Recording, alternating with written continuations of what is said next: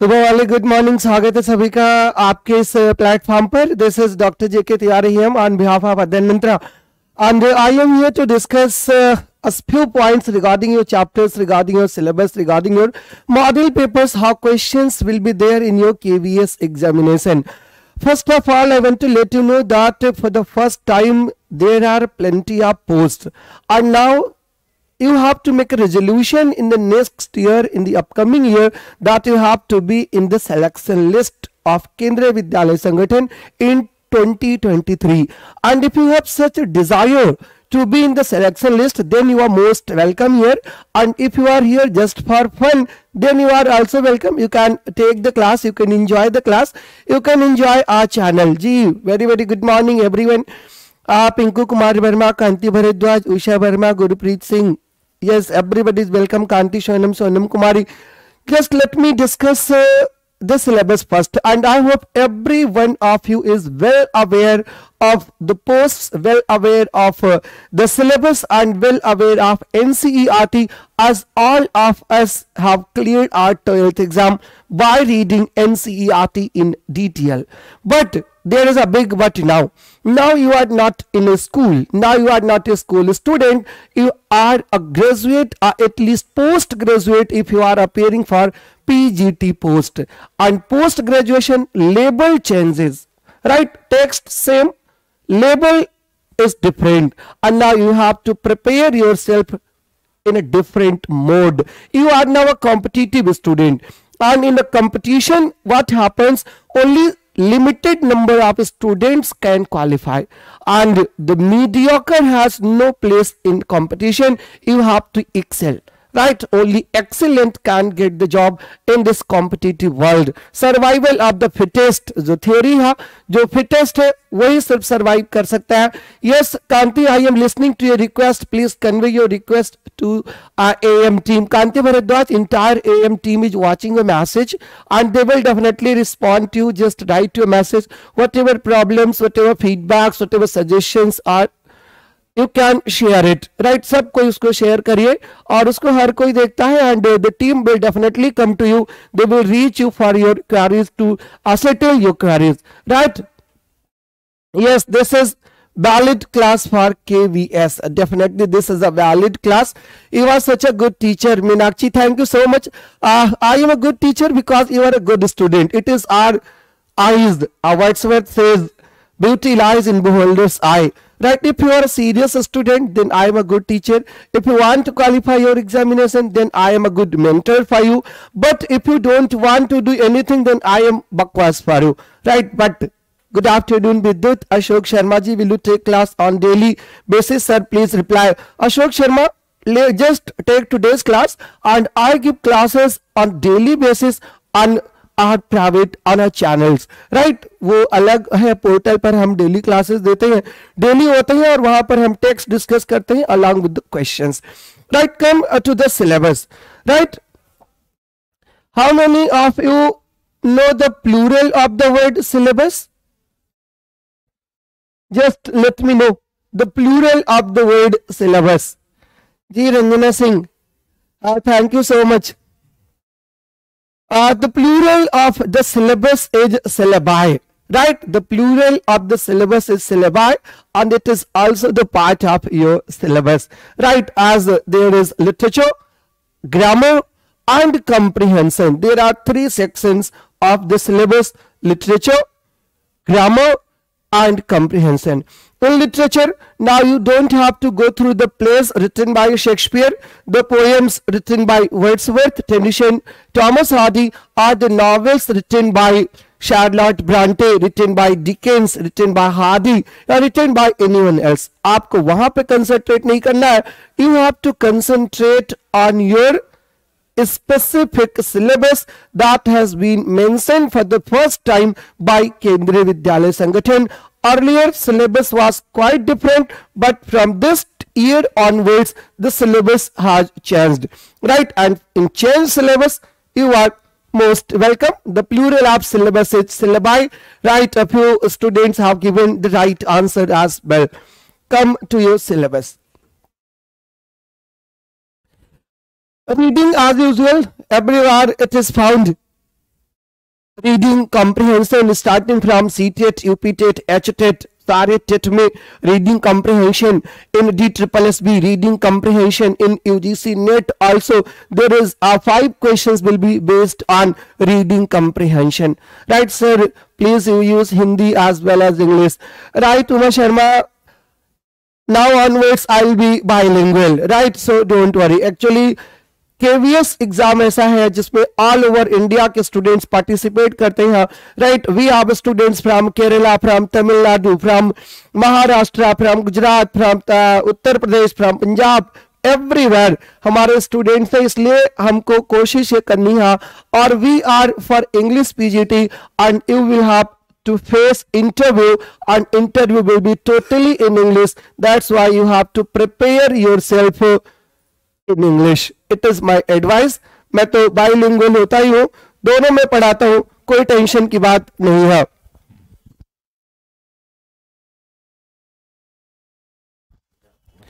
unseen passage, factual, descriptive, or literary to assess comprehension, interpretations, inference, and vocab.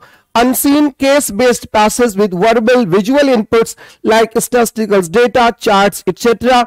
and note-making and summarization based on passage note making and summarization based on passage now this portion has also been added to your syllabus right ये भी आपके syllabus में जोड़ दिया गया है और जब ये भी जोड़ा गया है summarization based passage factual passages descriptive passages and literary passages factual passage क्या होता है that deals with facts only facts facts facts descriptive passages they are stories right stories like newspaper stories होती है वो डिस्क्रिप्टिव होती हैं they describe a particular incident a particular event and these two passages जो है factual and descriptions they are comparatively easy right comparatively easy होते हैं किसके कंपैरिजन में? लिटरेरी पैसेजेस के।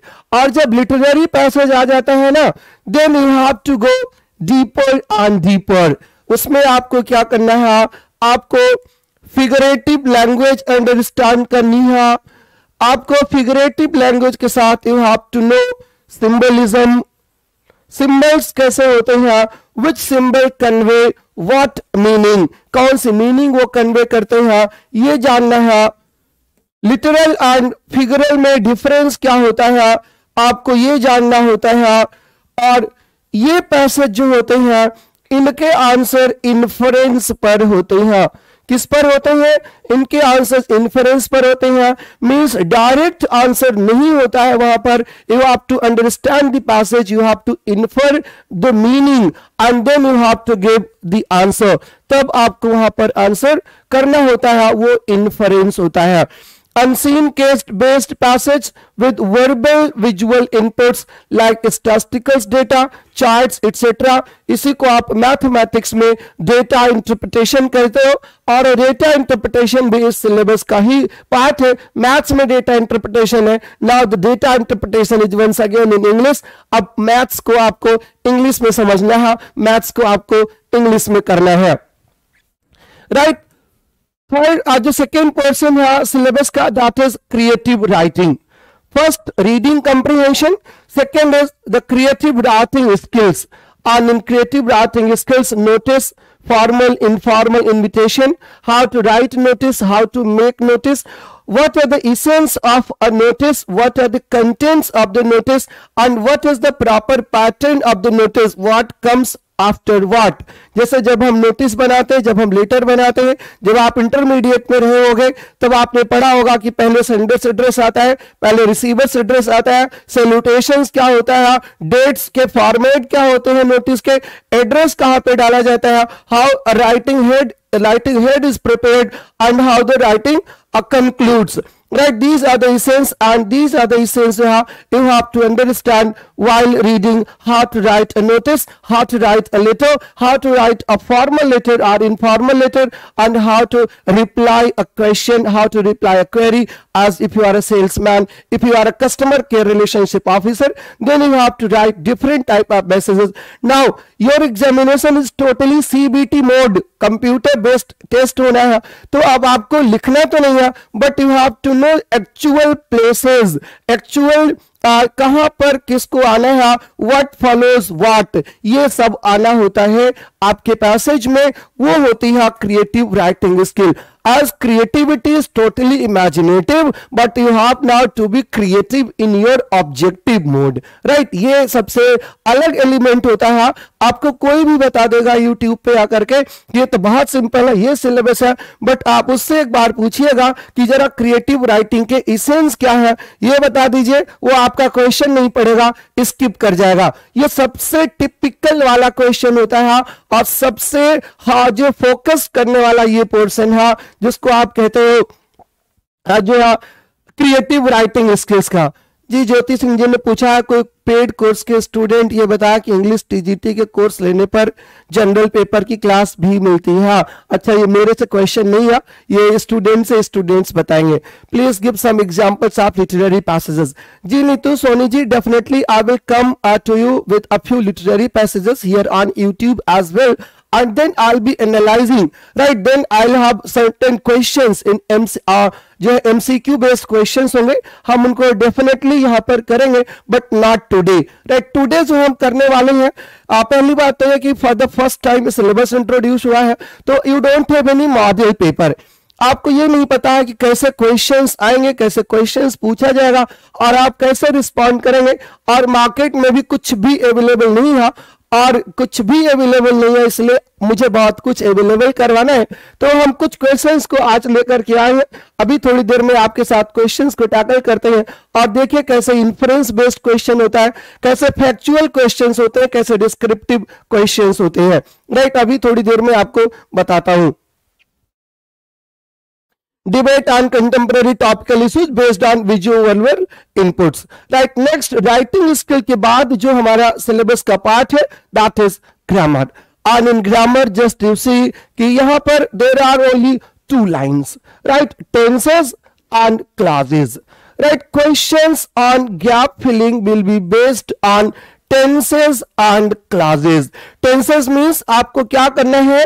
टेंसेज आपको प्रेजेंट पास्ट फ्यूचर और clause noun clause adjective clause और एडवर्ब क्लास इतना सिंपल सा सिलेबस दिया है।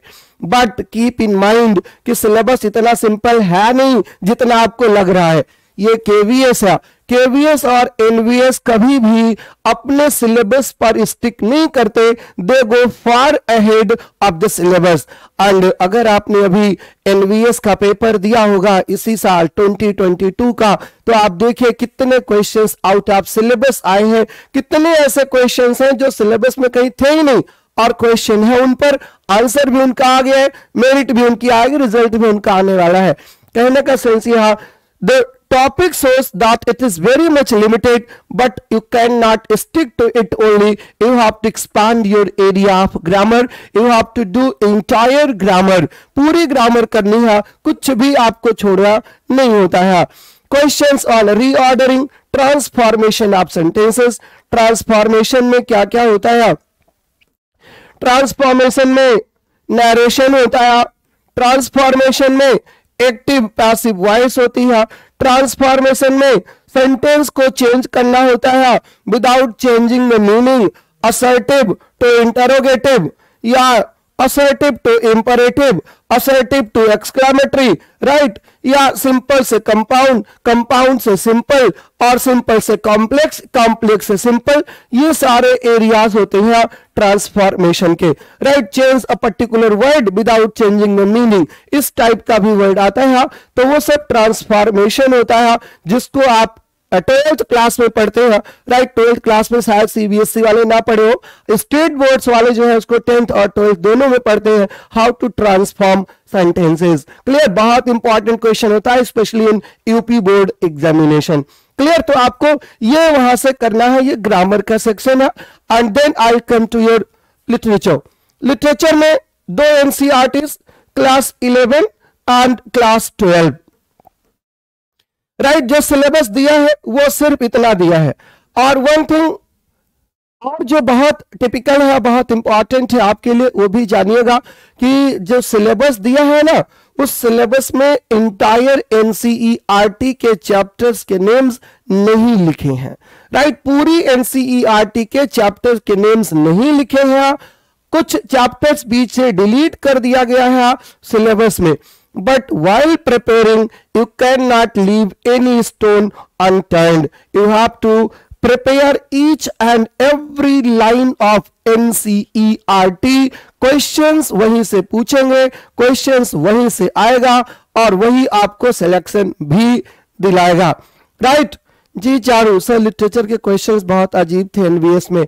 हाँ जी चारू, इसीलिए मैं बता रहा हूँ ना कि आप एनवीएस और केवीएस पर ये नहीं कह सकते कि यही वाला आएगा।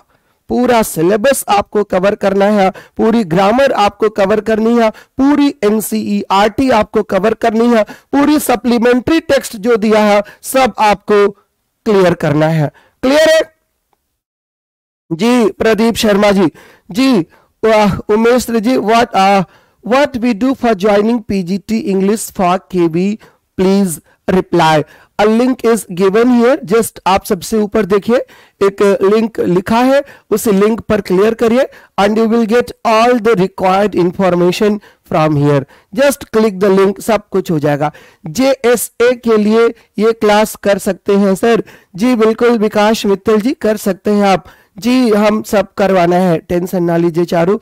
Everything will be here literary terms भी आएँगे डेफिनेटली सुजाता लिटरेरी टर्म्स भी आएँगे लिटरेरी फॉर्म्स आने हैं, और वो सब आपको करना है, सब आपको हमारे साथ करना है, सब कुछ हम करवाएँगे। बिल्कुल वेल पैक्ड सिलेबस होगा। एनसीईआरटी में जो है, वो तो है ही है, जो नहीं है, वो भी है। लिटरेचर से रिलेटेड जितना है, वो सब है। ग्रामर से रिलेटेड जितना है, वो सब है। बिल्कुल बताया ना आपको, एक वर्ड एक फ्रेज फिर से सुना दूँ कि we will leave no stone unturned for your sake for your examination sake clear कुछ भी आपका छूटेगा नहीं, इसलिए आपको सब कुछ करना है, बिल्कुल बिना किसी टेंशन के। Right ji good morning ji total NCERT syllabus PGT के लिए इलेवेंथ का और ट्वेल्थ का एनसीईआरटी सिलेबस मतलब अपने इंग्लिश वाला सिलेबस क्लियर ये चैप्टर के नेम्स है जो सिलेबस में दिए हैं। Uh, the portrait of a lady, a photograph, we are not afraid to die, we can be together. Discovering truth, the saga continues, the laburnum top, the voice of the rain, childhood, the adventure, silk road, father to son. इसमें poems भी hai और इसमें prose भी hai right right? दोनों है यहाँ पर जो भी एनसीईआरटी में है, वो सब है, जैसे कि अपोर्ट्रेट लेडी जो है, ये एक एनेग्राट है। तो अपोटोग्राफ एक पोएम है, और दोनों ही सेम नेचर के हैं, दोनों ही ऑटोबायोग्राफिकल है, दोनों ही लाइफ के एक्सपीरियंस को शेयर करते हैं। We are not afraid to die and discovering Tut ये दोनों बहुत एडवेंचरस जो है चैप्टर है द लेबरन टॉप एक टेडी की पोएम है। The voice of the rain is once again a poem childhood भी एक पोएम है। फिर द एडवेंचर सिल्क रोड ये फिर एसेज है। और फिर फादर टू सन एक फिर से ये पोएम है। क्लियर है?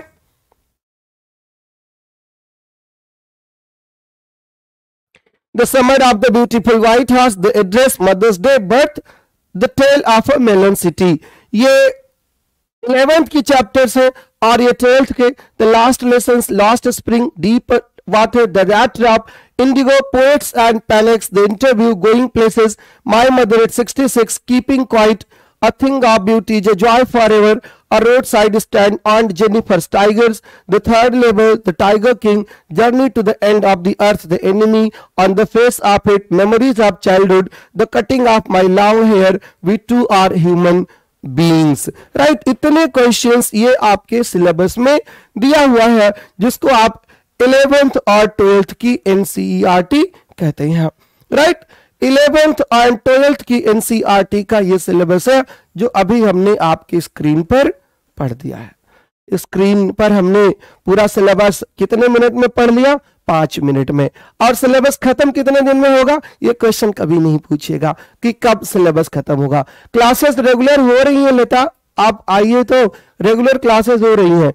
फिगर आप स्पीच सारे एक बार में करवा देना प्लीज़ जी, दीपा फिगर आप स्पीच का एक वीडियो अध्ययन मंत्रा के जो है यूट्यूब चैनल पर अवेलेबल है। एक नहीं, तीन वीडियो मेरे ही अवेलेबल है। आप वहाँ से ढूंढ करके देख सकते हो। आपको फ्री ऑफ़ कॉस्ट है। और हम अपने पेड बच्चों को, अपने पोर्टल वाले बच्चों को तो स्पेशली एक्सक्लूसिवली करवाते ही हैं। राइट कुछ चीज़ें हैं जो बिल्कुल ऑब्वियस ही हैं, जो आपको हर जगह मिल जाएगी। राइट जी टेल्सा वोल्गास अमेजिंग क्लास है। Thank you Sir, few chapters are not mentioned here, so are they deleted? A few, a few chapters are not even written, not mentioned in the syllabus issued by Kendriya Vidyalaya Sangathan, but they are the part of the syllabus, right? They might bluff you. You have that's why I always say you have to prepare one and all. सबको आपको prepare करना है जी थोड़ा सा demo नहीं पूरा सा demo देता हूँ आपको आइए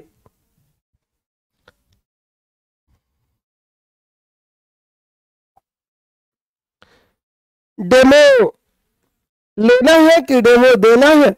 ये दो अलग अलग बातें होती हैं। करना क्या है? डेमो। डेमो क्या होता है? डेमो में क्या होता है? आप देखिए, बहुत सारे आपको लोग ऐसे मिलेंगे जो डेमो में आते हैं। डेमो में अपना बेस्ट ले आते हैं और उसके बाद आपको बहुत झेलवाते भी हैं।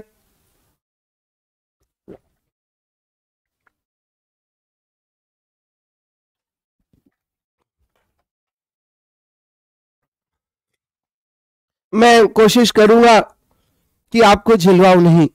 आज डेमो में मैं एमसीक्यूज लाया हूँ आपके लिए, जिन्होंने प्रिपरेशन शुरू कर दी है।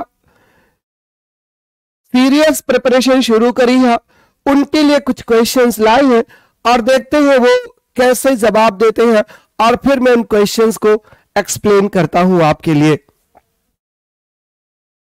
जैसे ये क्वेश्चन है। What does the word cardboard denote in the poem photograph? What does the word cardboard denote in the photograph? Read the question and give the answer.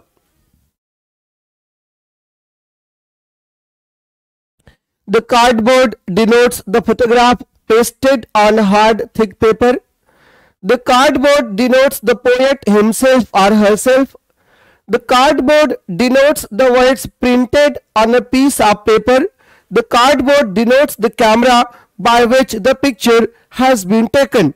These are the four options. ये सबसे ultimate वाला question है आप search कर रहे हो ना questions किस टाइप कहेंगे तो टाइप वन का ये पहला क्वेश्चन है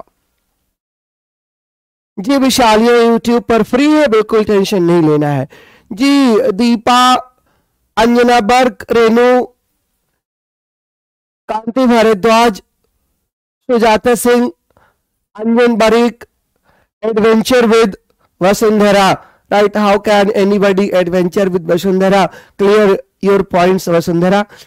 Soni Kumari, Sujata, Neetu, Soni, yes. Right answers की देखिए, झड़ी लग गई है कि कितने बच्चों ने सीरियस प्रिपरेशन शुरू कर दी है। कार्डबोर्ड जो वर्ड है फोटोग्राफ में, उसका मतलब क्या होता है? वो एक सिंपल सा क्वेश्चन यहाँ पर पूछा था। अब जिसने चैप्टर पढ़ रखा है, वो कैसे आंसर कर रहा है? और जिसने नहीं पढ़ रखा था, वो कैसे आंसर कर रहा है? ये देखने वाली बात है।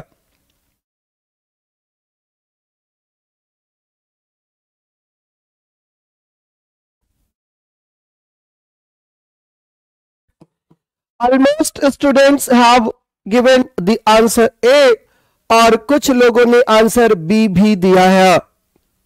How to join your class please guide Ravikant ji there is a there is a link on your screen click the link and you will get everything in detail सब कुछ आपको मिल जाएगा। लिंक को क्लिक करिए, बस।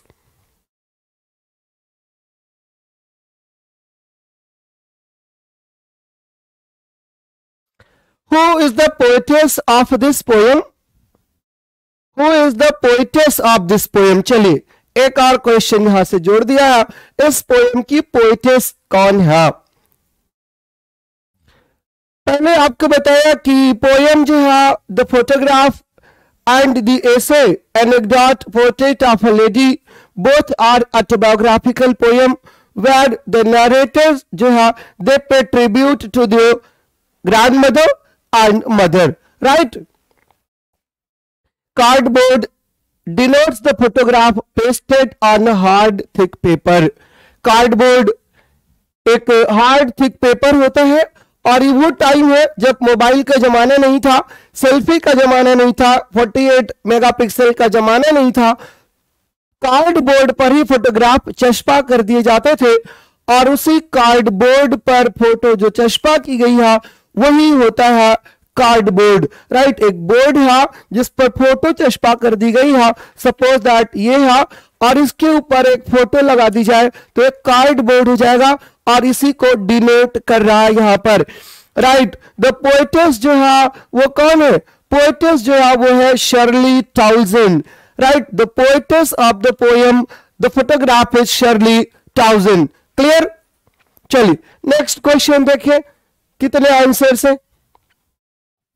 ये factual question है।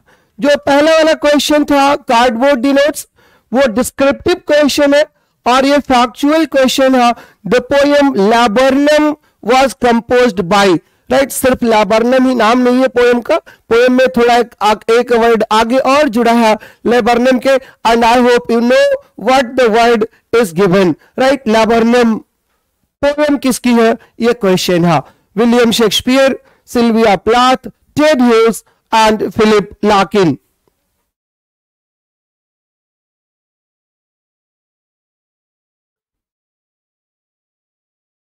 Amit Kumar ji you can have the previous question of KVS PGT but they are out of use from this year onwards वो बिल्कुल आउट ऑफ़ यूज़ है आउट ऑफ़ यूज़ है क्यों? Because syllabus has totally changed और जब syllabus बदल गया है देन सेकेंड का कोई मतलब नहीं है। Kanti Bhardwaj gave the incorrect answer and then deleted it right yes शाबाश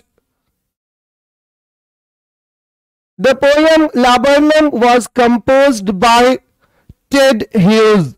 Ted Hughes was an English poet and he was husband to Sylvia Plath. Sylvia Plath के हस्बैंड थे और ये उन्हीं की पोयम है टेड ह्यूज की। Laburnum top is the complete title of the poem. Laburnum top इसकी टाइटल है पूरे पोयम की। एंड पोयम शो क्या करती है?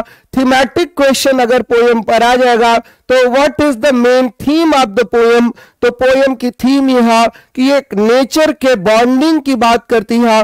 कैसे the life of a natural object depends on the life of another object कैसे दो चीज़ें मिलकर एक साथ रहती हैं?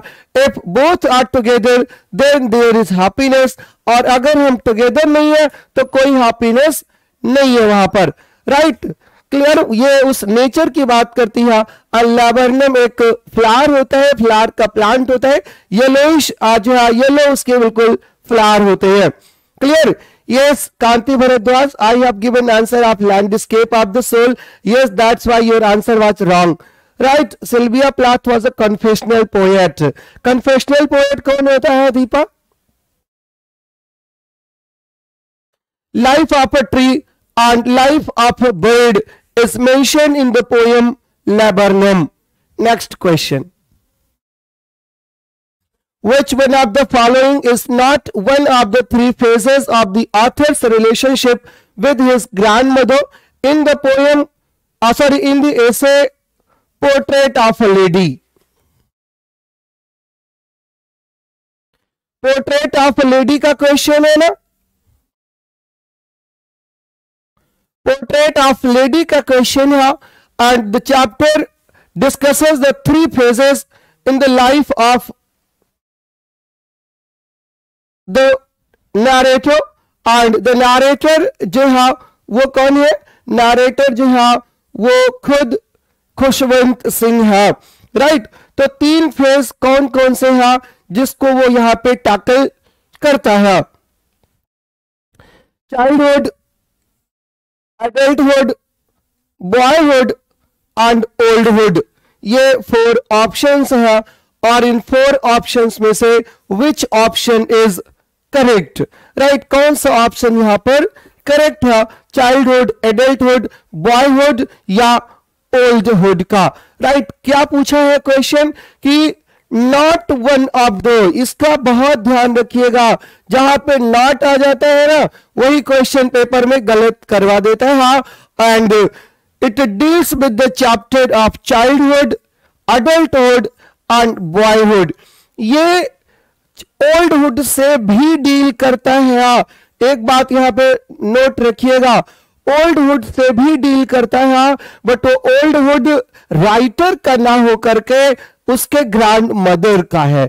ग्रैंड मदर उसकी ओल्ड है और ये उससे टैकल करता है ओल्डहुड बट क्वेश्चन जो पूछ रहा है कि which one of the following is not one of the phases of the author's relationship with his grandmother तो ग्रैंड मदर तो ओल्ड है but author is not old इसलिए यहाँ पर जो आंसर है दैट इज़ डी ओल्डहुड से tackle नहीं करता, बाकी तीनों से करता है। Clear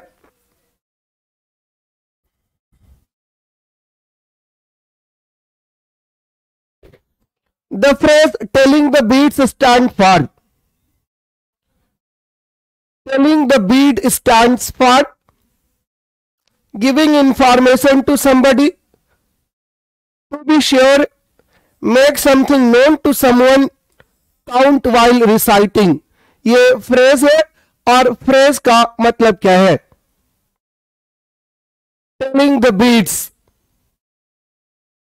ये वकैबलरी है।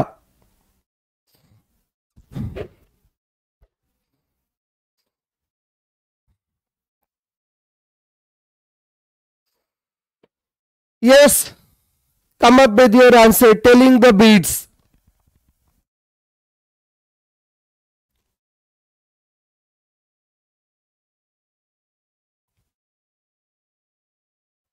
the phrase telling the beads stand for किसके लिए आया है telling the beads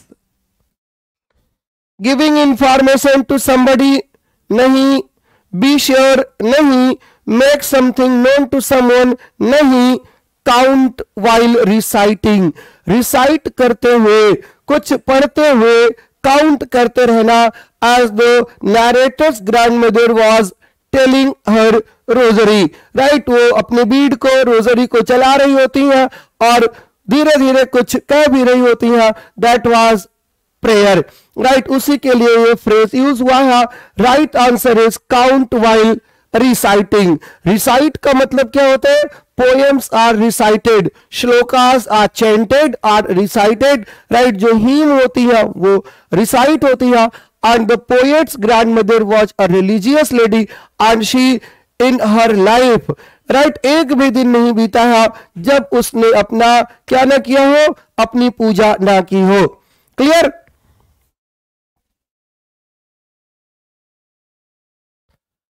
next question factual question है।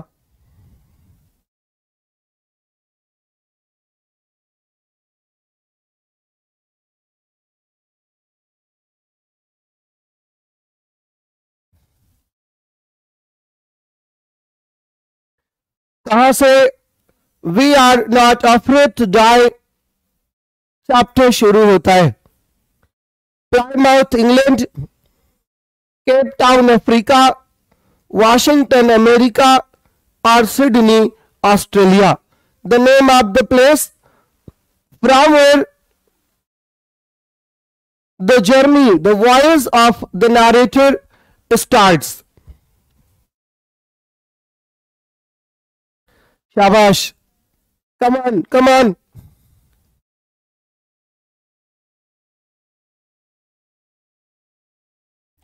Actually, in the chapter, the narrator, the voicer, wanted to imitate the journey, the voyage taken by Captain Hook 200 years ago.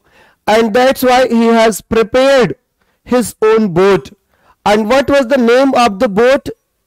जिसपे Narrator जाता है what was the name of the boat yes name of the boat क्या है? बताइए।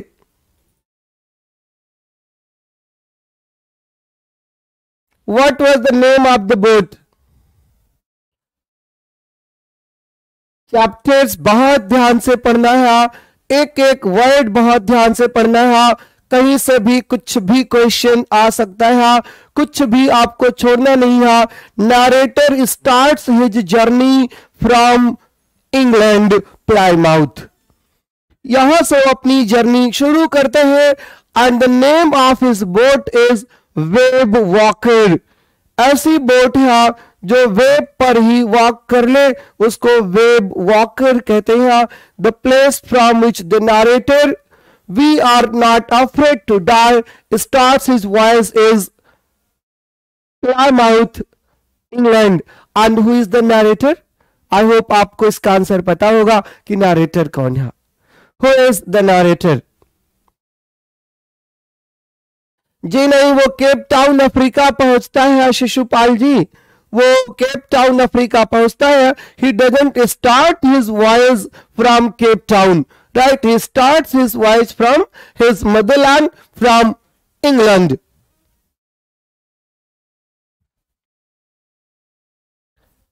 मज़ा आ रहा है कि नहीं? देखिए first Green Party was formed in first Green Party कहाँ फॉर्म की गई थी? बताइए।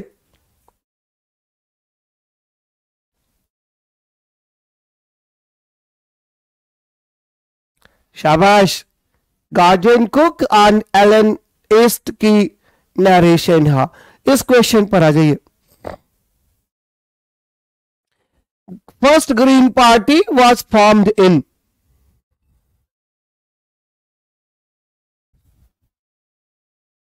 पहली ग्रीन पार्टी कहाँ फॉर्म की गई थी?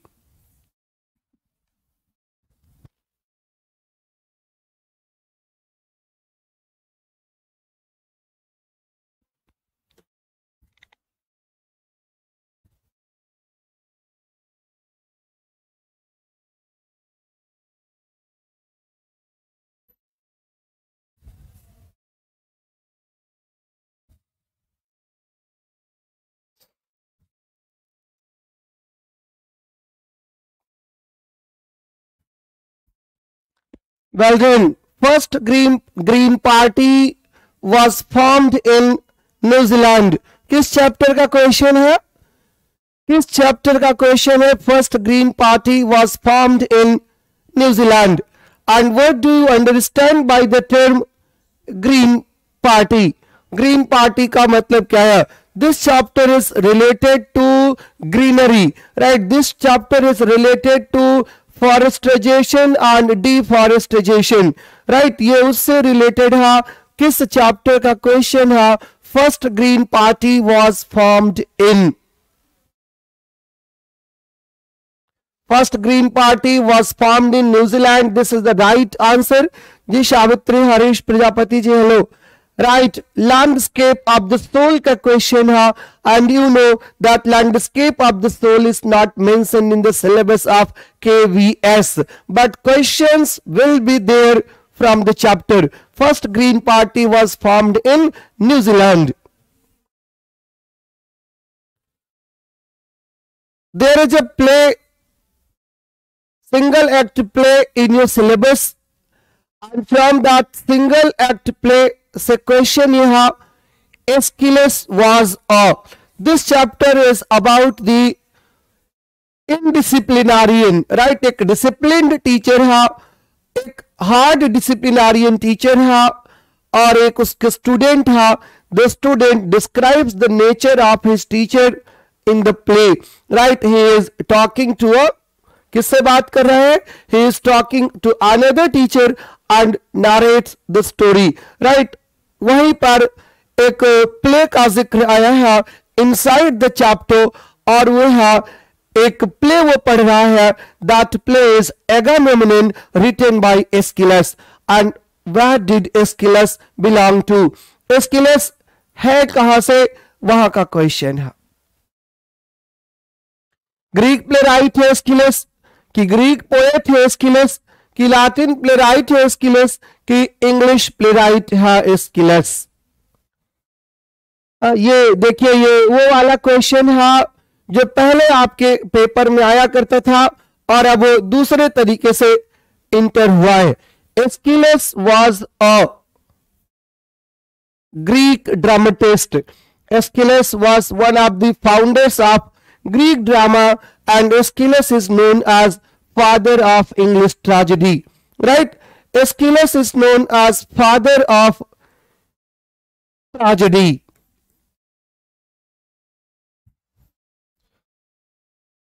he wrote around 100 plays, but only a few could survive. और few बचे हैं, उसी में से एक है एगामेमनन right agamemnon is a greek play based on the life of the greek hero agamemnon last phase of his life yeah you could say the play is based on the murder of agamemnon by his own wife clytemnestra right उसी पर ये question है उसी का answer यहाँ पर आपको देना है which of the following is mismatched mismatched क्या है इसमें? देखिए और बताइए। Which of the following is mismatched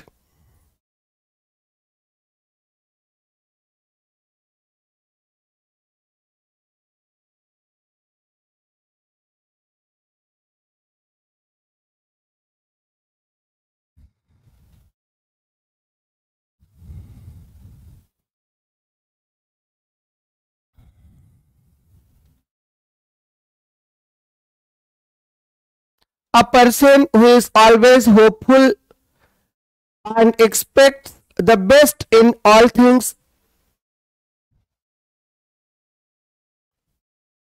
optimist. A person who believes that material possessions are all that matter in life is materialist. A person who follows generally accepted norms of behavior is conservative a person who believes that nothing really exists is nihilist. Right, right answer देना है कि which one is mismatched.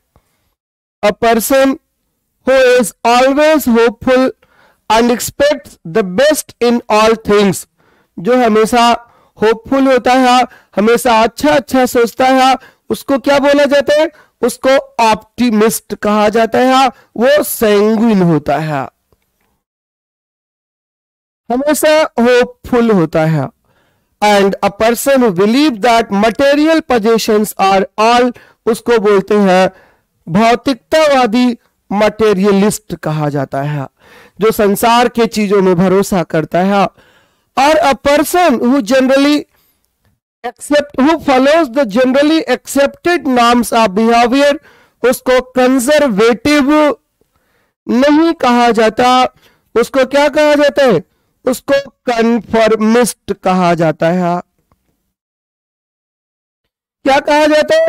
He is known as conformist and a person who believes that nothing really exist जो बहुत नास्तिक है, जो ये मानता है दुनिया में कुछ है ही नहीं नथिंग रियली एग्जिस्ट वो होता है निहलिस्ट राइट वो निहलिस्ट होता है। मतलब ये ऑप्शन भी सही है। यह जो इनकरेक्ट ऑप्शन है that is C this one is mismatched C is the right answer right C right answer है। बाकी तीनों मैच्ड है। ए बी और डी अपने अपने आंसर सही करिएगा। ये भी एनसीईआरटी का ही क्वेश्चन है। इन दी वैप सेक्शन राइट एनसीईआरटी का ही ये क्वेश्चन है। खाली क्वेश्चन को फॉर्म किया गया है। Rest of the definitions are written over there all right next पे है चलो। और इन सारे टाइप के क्वेश्चंस आपको हमारे पैनल पर मिलेंगे। जैसे ही हम एक बार एनसीईआरटी कवर करते हैं, वैसे उस पर बेस्ड आपको कम से कम 200 क्वेश्चंस मिल जाएँगे so that in your examination it will be the most powerful right और वो क्वेश्चन जो है, वो मोस्ट पावरफुल वेपन होंगे आपके लिए, और वही क्वेश्चंस आपके पेपर में आएँगे भी। आइए next question catastrophe theory is chapter है जिसमें दो थियोरी काम करती है कैटेस्ट्रॉफी थियोरी और एक डिटर्मिनिज्म की थियोरी है। तो कैटेस्ट्रॉफी थियोरी होता क्या है? A branch of mathematics concern with systems displaying continuous changes a branch of physics concern with systems displaying continuous changes a branch of history that deals with archaeology and none of the above I am now side पढ़िए और जवाब दीजिए and I have discussed this theory in detail and uh, those who are my student they must be knowing the right option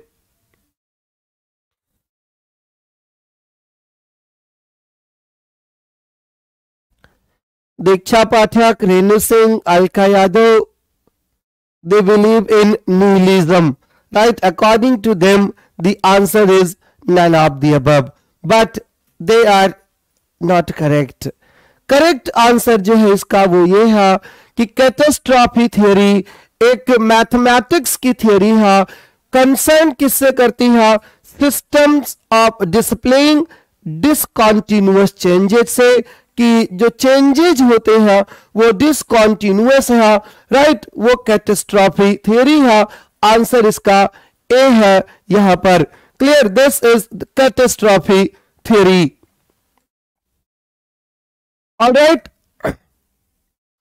What was the name of the Secretary General of Egypt's Supreme Council of Antiquities?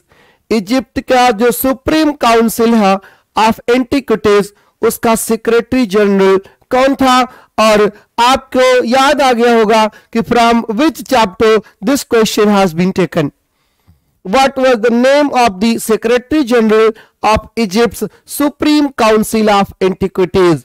ये किस chapter का question है?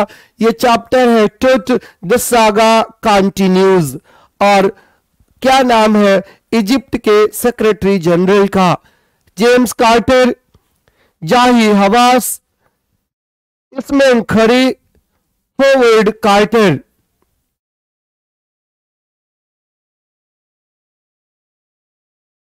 क्या बताना है Nisha? Sir PGT का total course cover करवा दोगे क्या? अरे, और नहीं तो क्या मज़ाक थोड़े कर रहे हैं? पीजीटी का पूरा सिलेबस ही कवर करवाएँगे। टेंशन क्यों ले रहे हो? Discovering the saga continues right उसका क्वेश्चन है और आंसर क्या है आपका Deepika? Now Deepika is here with different name now she is Deepayam Deepayam. जी, फटाफट आंसर करिए waiting for your answers waiting for your responses some have given the right and some are also incorrect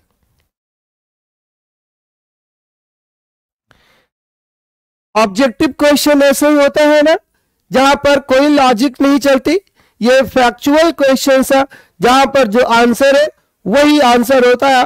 कुछ और answer नहीं होता यहाँ पे जो answer है वो है जाही Hawass. Zahi Hawass B option है यहाँ पर। ये नेम है secretary general of Egypt supreme council का लगभग लोगों के जवाब सही है। Clear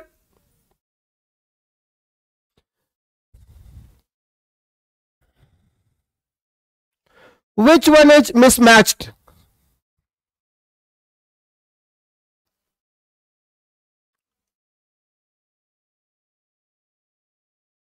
Which one is mismatched? Tomography refers to talking pictures or taking pictures of various sections of human body in three-dimensional view.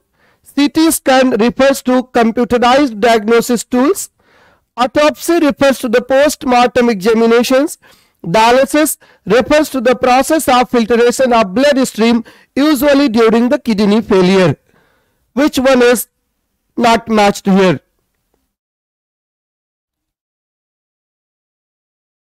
Which one is mismatched?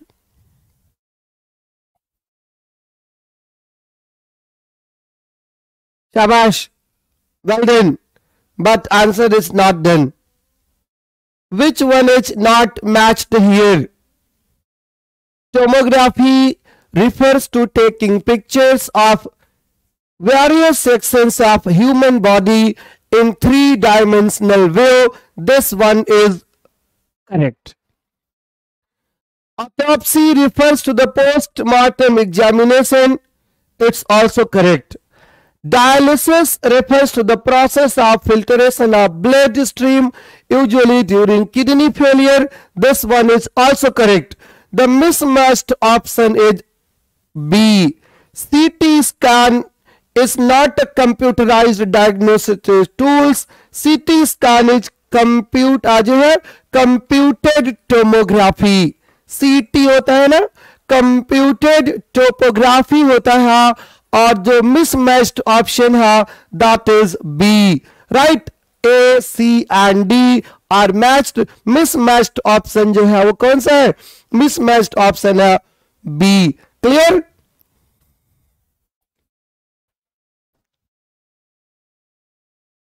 Tibetan mastiffs were Tibetan mastiffs कौन है?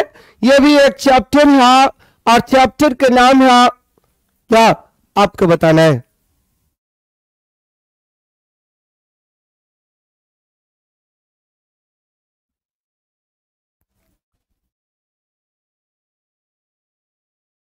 Tibetan mastiffs कौन थे? Hunting dogs domesticated horses dejected people woollen clothes क्या होता है Tibetan मास्टिप्स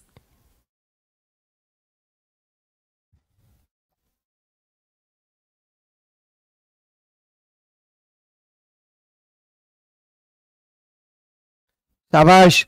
Tibetan mastiffs पर भी एक चैप्टर है। और Rituparna will let know the name of the chapter किस चैप्टर का है and who is the writer of the chapter Tibetan mastiffs were basically right Tibetan mastiffs were hunting dogs शाबाश the answer is correct hunting dogs थे Tibetan mastiffs clear next जो question है Nick Middleton Who is Nick Middleton?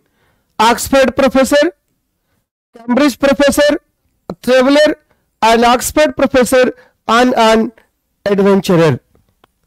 Who is Nick Middleton? Yes, Silk Road.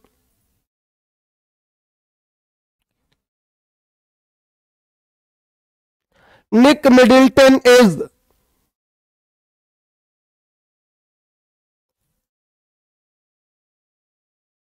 I have not gone through the chapter. It's okay. It's okay. But here, आप, मेरा क्या objective है कि आपको बताना कि कैसे क्वेश्चंस पेपर में आने वाले हैं, वो एक फॉर्मेट मैं आपके लिए लाया हूँ अभी तक मैं आपके लिए क्या लाता था पीवी शाली की पोएम की लाइंस कहाँ से आई है?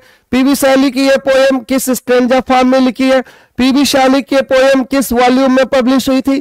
पीवी शाली की इस पोएम से इंडिया में कौन इंस्पायर्ड था? इस टाइप के क्वेश्चंस थे। अब इस टाइप का क्वेश्चन नहीं है। अब इस टाइप का क्वेश्चन है कि निक मिडिल्टन कौन है? Nick Middleton is the writer is the author of the chapter on adventure and he is basically an Oxford professor and an adventurer. Clear? So this type of question will be asked in your examination in your paper. Last question है चलिए which of the following stations is not mentioned in the chapter The Adventure? Question थोड़ा सा technically गलत है। Technically गलत है question. ये chapter नहीं है, चैप्टर कोई और है, छोड़ देते हैं इसको। इस पर आ जाइए। Doctor account stand for. Doctored account stand for.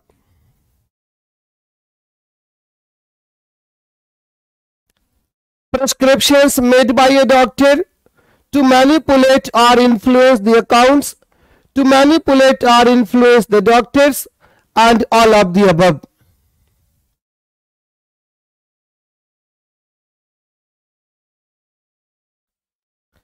Yes, a subject specific grammar as well as literature. Kalyan is mentioned there, Sujata. The train runs through Kalyan. Doctored account stands for prescriptions made by the doctor to manipulate or influence the accounts, to manipulate or influence the doctors, all of the above. तो doctor दी accounts का मतलब होता है facts के साथ छेड़छाड़ करना facts के साथ छेड़छाड़ करना वो होता है टू मैनिपुलेट और इन्फ्लुएंस दी अकाउंट्स इसका जो राइट आंसर है दैट इज़ ए राइट क्या आंसर है इसका? राइट आंसर है इसका ए और यही आज का आपका लास्ट क्वेश्चन था। नेक्स्ट डे जब हम मिलेंगे, कुछ और क्वेश्चंस के साथ। राइट लास्ट डे कुछ और क्वेश्चंस के साथ हम मिलेंगे। तब तक आप क्या काम करिए? जो लिंक दिया हुआ है, उस लिंक को क्लिक करिए and get all the information from the website regarding your syllabus regarding your teaching कि आपको पढ़ना क्या है और क्या पढ़ाया जाना है।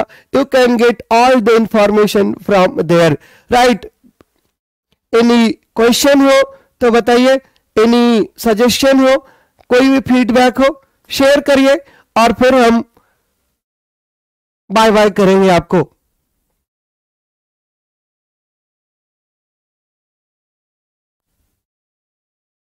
लास्ट का आंसर बी हा दीपा टू मैनिपुलेट और इन्फ्लुएंस द अकाउंट्स कोई क्वेश्चन नहीं है? चलिए thank you so much enjoy करिए, मस्त रहिए, सर्दियाँ बहुत है, बच के रहिए। और बने रहिए इस अपने फेवरेट प्लेटफॉर्म पर। बहुत सारी इंफॉर्मेशन बहुत सारी जानकारी और बहुत सारे क्वेश्चंस को लेकर के। All the best good luck bye bye take care